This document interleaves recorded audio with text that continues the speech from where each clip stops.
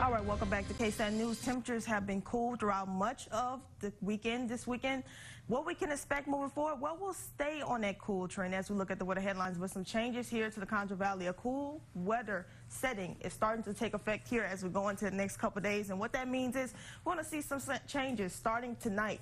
We are watching our next disturbance that comes into the forecast, bringing us a chance of some rain, possibly some snow or mixing for some of us. I have a look at that and the possibility of what we could see here and across the Concho Valley in just a couple minutes. But for January overall, man, we'll be seeing pretty much well below average, even though we did see 80s one day here on the 14th of January, staying 11 days above average even though we've been seeing more 70s, average is around 62 degrees around here in the Concho Valley. And right now, that cold atmosphere is starting. Now, we have some low-level clouds, but still seeing temperatures drop off, especially in the zone around 37 degrees, 45 in Sterling City, 51 in Ballinger, 49 in Melvin, in Eden, and 46 in Wall. All of us just starting to taper off, and those clouds will start to break as we go into the next couple hours here, though will be great to see some cool weather and also probably get the heaters going because temperatures will be in the 40s then dropping into the 30s before warming up by 10 a.m. back to around 46 degrees for us. So we're not going to see too much of a change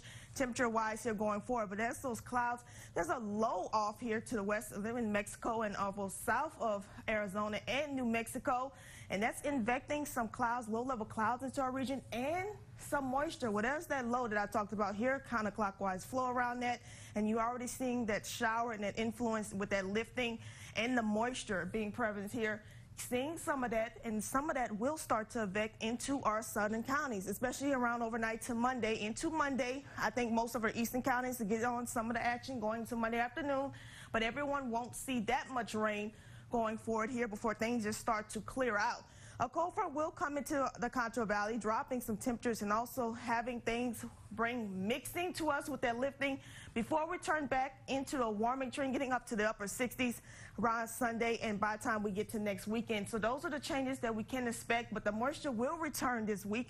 That low is going to track off to the east, bringing the moisture coming back to the Concho Valley, especially around Wednesday when that mixing chance increases here making it more prominent to see it. But again, right now, models are not consistent. I'll go with a low chance right now, but this is just the potential of what we can see coming into that rain.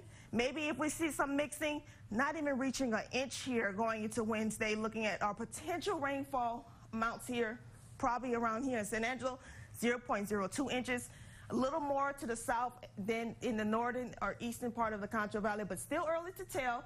We'll just wait to see what develops in the next couple of days. But outside dining forecast looks something like this. Your lunch hour is going to be in the 60s, cooling off into the 50s, clearing entree. You want to have a great dinner with your family and friends definitely going to be a little cooler than what you probably expected.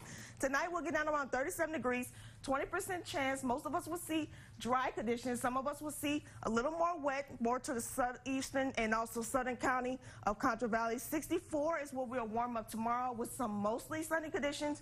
Winds will be around 5 to 10 miles per hour, a little breezy, but not gusty. We will see those winds pick back up going into the rest of next weekend, but two cold fronts come through.